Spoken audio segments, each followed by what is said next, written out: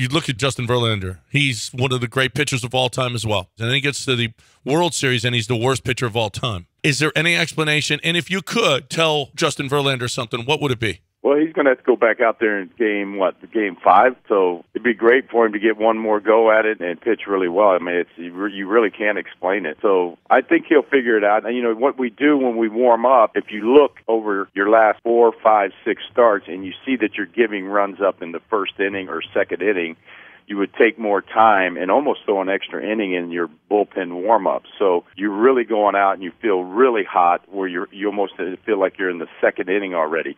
Now you might only go six innings or seven innings. You might not get to the eighth or ninth because you've expanded your warm ups in the bullpen, but that's what you have to do so you can not give the other team any momentum when you first go out there. Similar again, I can go back to what Wheeler had, you know, like they didn't let him settle in at all.